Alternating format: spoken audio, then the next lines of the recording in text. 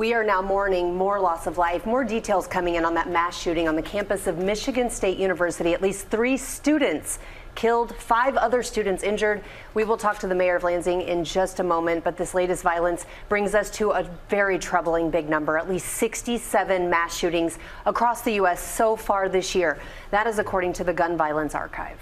So many questions today. That gunman opening fire at least at two different locations. Officials first getting the call to the Michigan State University campus over at Berkey Hall. A dozen students barricading themselves in the library. Police say the suspect, a 43 year old man, died of a self inflicted gunshot wound. We want to bring in the mayor of Lansing, Michigan, Andy Schor. Thank you so much for being here under these really terrible circumstances.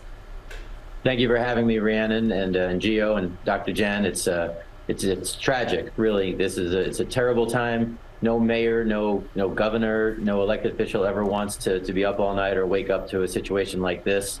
But but our folks really uh, they got in. They they did what they needed to do. They identified the uh, assailants and um, and the threat was taken care of. So. Um, you know the result is is what we needed, and now it's a lot of healing for our community. It's it's uh, it's kind of a crazy crazy night and morning.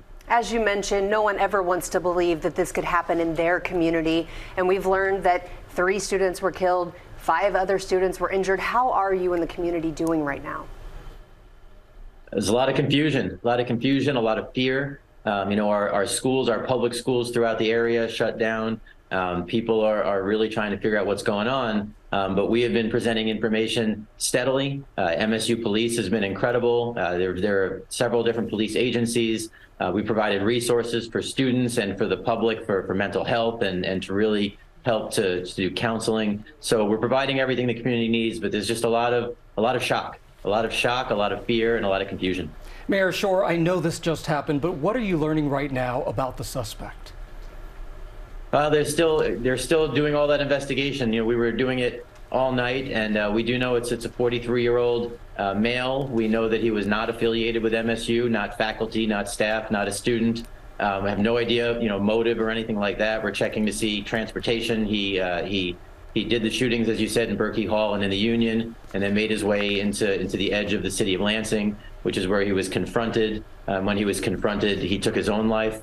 Um, but we don't know a lot more than that, and the investigation is, is ongoing.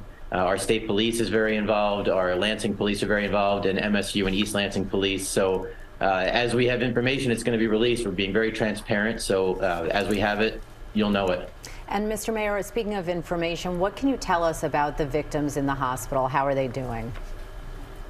Well, we know that um, that there are three deceased. We know that there are five that are in the hospital. The medical examiner from Sparrow Hospital here in Lansing addressed a press conference this morning. Um, they are, are critical but stable. Uh, they're, uh, it's it's nothing is certain yet. It's it's touch and go, and, and the the doctors are doing their best to work uh, as aggressively as possible. But Sparrow is a level one trauma center. We have some of the best doctors in the nation, so it'll be the very best care that these young people will ever get. Lansing, Michigan Mayor Andy Schor. Our hearts are with your community, of course. Thank you so much for joining us on this very difficult day.